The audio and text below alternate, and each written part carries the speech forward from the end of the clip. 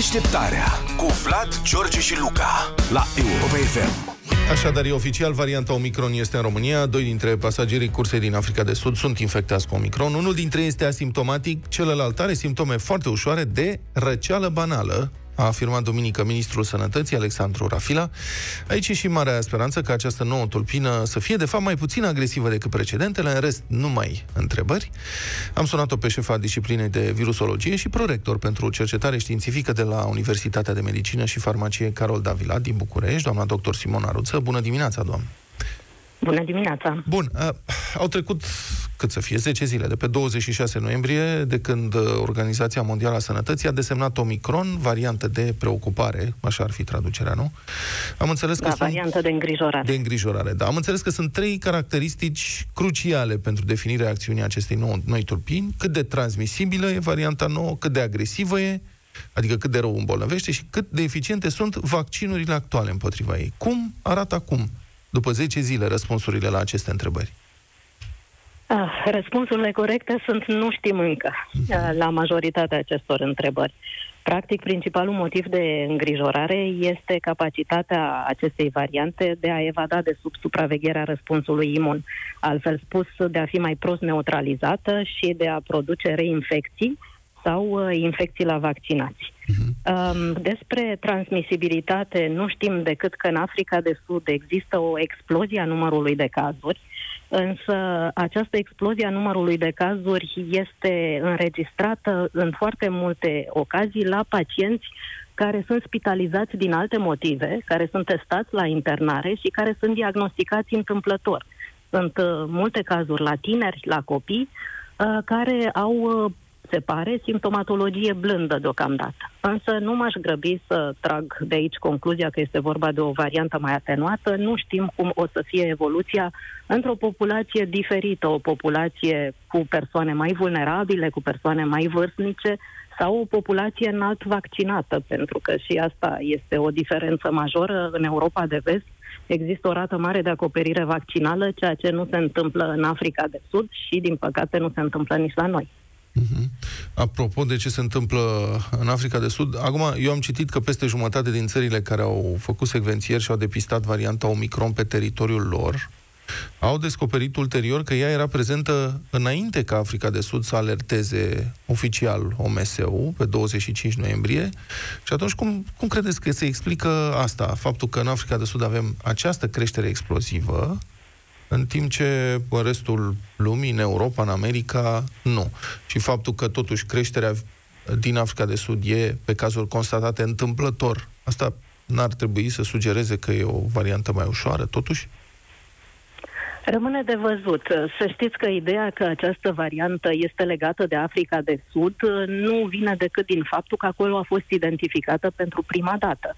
Acolo se face destul de multă secvențiere genomică, există niște rețele um, care sunt puternice pentru că au foarte multe infecții HIV și au făcut această rețea de secvențiere genomică cu mult înainte de apariția pandemiei.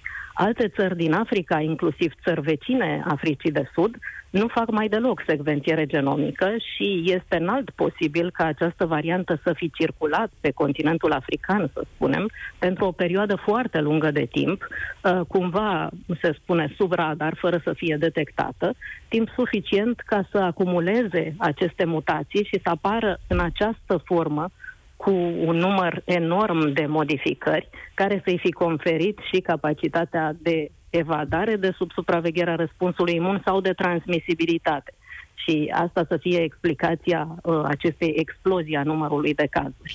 Uh, faptul că unele țări uh, din Europa au descoperit retrospectiv, să zicem, varianta în circulație, nu înseamnă mare lucru. Varianta tot așa putea să fie ajuns prin călători. Nu, frontierele practic nu mai există în momentul de față, ne deplasăm cu viteză foarte mare pe distanțe foarte lungi și este înalt posibil ca această variantă care nu a apărut pe data de 26 noiembrie, în mod sigur, de altfel prima probă pozitivă a fost identificată pe 4 noiembrie undeva în Botswana uh, și a fost raportată în bazele de date internaționale în jur de 24 noiembrie. um, ceea ce a atras atenția fiind existența aproape simultană a unor cazuri cu aceeași variantă și în Africa de Sud. Deci e foarte posibil ca în tot acest interval oamenii să fi venit, să fi plecat din Africa de Sud în diferite puncte ale globului și atunci această variantă să se afle în continuare în circulație. Cam cât de probabil credeți că este ca această variantă să fie deja în circulație în România? Este sigur în circulație în România. Uh, nu este însă în circulație comunitară, asta vă pot spune uh, în mod cert, deși noi nu facem un număr enorm de mare de secvențieri, Totuși, în România se fac secvențieri, uh, se fac la Cantacuzino, la Matei Baș, la Institutul de Virusologie, unde lucrez și eu, uh, se fac în alte câteva centre și există de ceva timp uh, o supraveghere a acestor variante circulante. Varianta aceasta Omicron are avantajul că, pentru noi avantajul, că dă un profil particular în testele PCR, și atunci e destul de ușor să-ți dai seama dacă a circulat sau nu uh, în perioada de dinainte, să spunem. Și uitându-ne chiar retrospectiv la probele pe care le-am avut, nu am identificat uh, acest profil.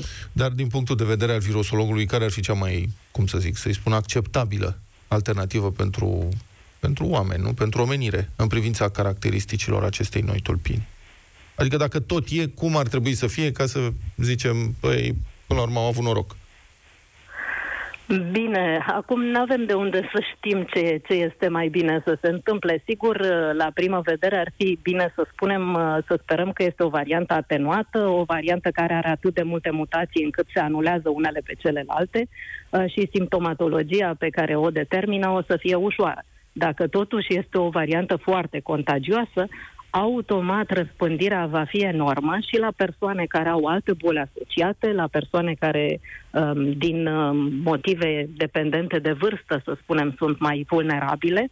Și, din nou, o să avem un număr uh, relativ mare de cazuri care or să ajungă în stare severă pentru că această atenuare nu o să fie completă, adică virusul nu o să dispară de la sine. Este clar că până la urmă o să devină practic endemic. Uh-huh. Uh, îmi doresc însă să nu fie o variantă care să poată să evadeze de sub supravegherea răspunsului imun, să fie o variantă care um, în continuare să păstreze cumva uh, eficacitatea vaccinurilor pentru că în condițiile astea, vaccinându-ne, avem șanse foarte mari să nu facem infecții severe. Uh-huh. Să facem niște infecții respiratorii ușoare este acceptabil, să facem uh, infecții severe care să ne ducă în spital în ATI și să ne pună la risc viața nu mai este acceptabil. Acum, noi speram, și, mă rog, și din ce am mai vorbit cu alți specialiști, aveam această speranță, am căpătat această speranță că am fi putut să scăpăm de pandemie cumva până la mijlocul anului viitor, fie prin vaccinare, fie prin imunizarea naturală a majorității populației. Credeți că acest lucru mai este totuși posibil, având în vedere capacitatea noului coronavirus de a căpăta mutații atât de semnificative precum Omicron? Sigur, la un moment dat se va atinge o masă critică de persoane care vor fi protejate prin uh, imunitate naturală sau prin imunitatea conferită de, de vaccinare. Problema este care e persistența acestei imunități pentru că valuri succesive vor mai exista, însă dacă vor fi de aceeași amploare și gravitate, um, asta depinde de mai mulți factori și între factorii aceștia variantele sunt numai uh, un element. Celălalt element uh, este legat de uh, masa de persoane susceptibile și asta depinde pe de o parte de acoperire vaccinală și pe de altă parte de persistența răspunsului imun.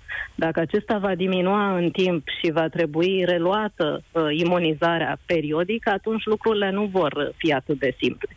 Eu cred însă, din datele care există la ora actuală, că vaccinurile uh, ARN mesager cel puțin se vor dovedi a fi vaccinuri care trebuie să administrate în trei doze. Cu a treia doză uh, făcută la un interval mai lung, este o schemă care se mai folosește și pentru alte vaccinuri bazate pe alte principii, uh, cum ar fi vaccinul pe proteine recombinante, cele pe care le facem uh, împotriva hepatitei B sau împotriva papiloma virusurilor, care se dau la fel și care în această formulă cu a treia doză făcută la interval mai lung dau un răspuns imun persistent. Și atunci speranța asta este că această schemă o să reușească să mențină imunitatea pe termen mai lung și să ne protejeze împotriva majorității variantelor pe care virusul le-ar putea produce. Mulțumesc foarte mult. A fost în direct în deșteptarea profesorul universitar Simon Aruță, virusolog, șefa catedrei de virusologie de la Universitatea de Medicină din București. Deșteptarea cu Vlad, George și Luca la Europa FM.